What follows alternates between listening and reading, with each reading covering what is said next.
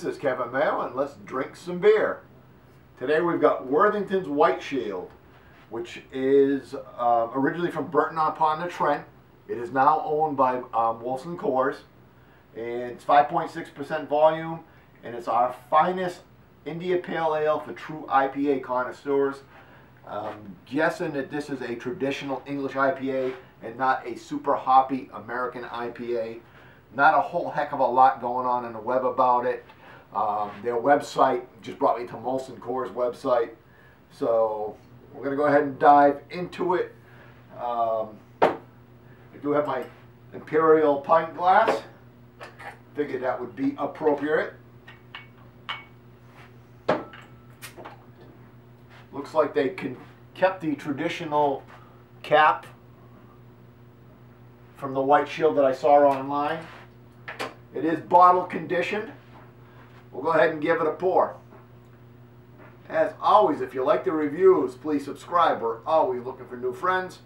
And leave comments. I learn a lot from you guys, and sometimes looking up answers or responding is really brings me a long way in my beer quest. A little aggressive on my pour. We got quite a bit of head on this. Probably a th three, uh, probably four finger. Yeah, like a four finger head. It is cloudy, which you'd expect on a bottle conditioned. At this point, I do not. Oh, yep, there's some stuff floating around in it. A little bit of yeast floating around in it. A fair amount of carbonation and a very traditional bright orange that you would get on a true, uh, you know, typical IPA.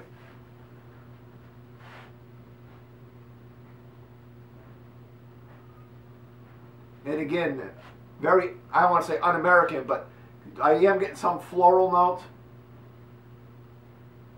But I'm not getting that big hoppy citrus burst that I would get on an American IPA. It's actually quite subdued. I do get, like I said, just maybe a small hint of citrus.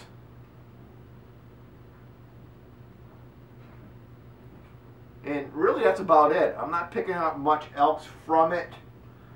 Uh, it is bottle conditioned. I'll try to dump out a little bit more in a minute, see if that changes the flavor. Let me go ahead and give it a taste.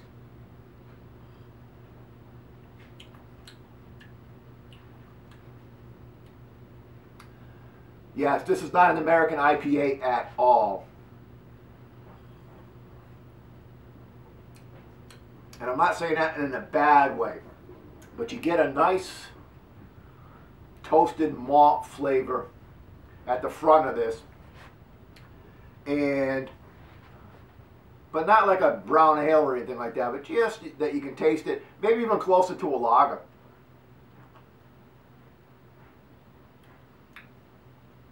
and you get a real solid bitter in the back.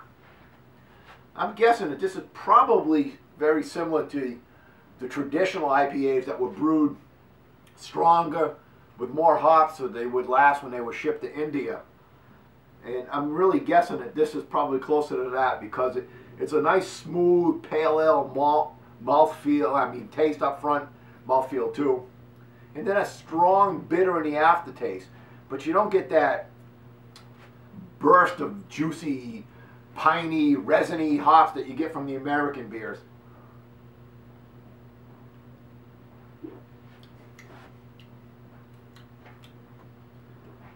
A little bit of sweetness in the middle. Believe it or not, I was detecting a hint of bubblegum. And it doesn't taste like bubblegum, but that was really the only thing that came into, into mind. Let's go ahead and see uh, what happens when we swirl it up a little bit. Oh yeah, just sort of, yeah, we're getting some good stuff floating around in there now.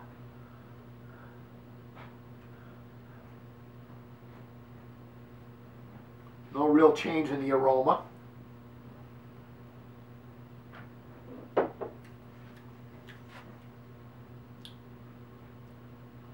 No real change in the flavor. Very good mouthfeel, very smooth, um, nice smooth, robust malt flavor in the front. Just a very tasty mouthfeel.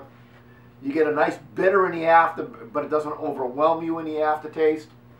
overall, a very pleasant, very drinkable beer. Uh, don't go into it thinking uh, Dogfish Head 60 minute or 90 minute or anything like that.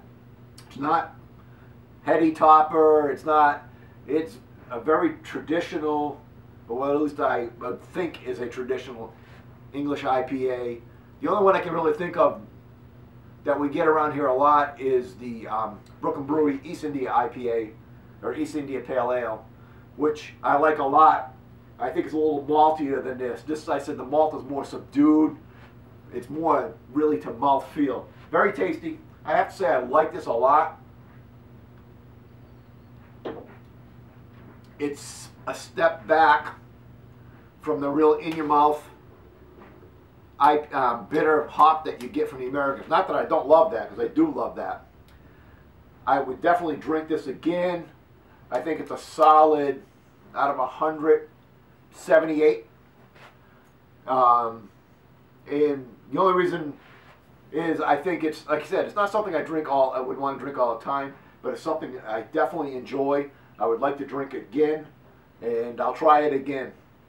Till next time, keep drinking.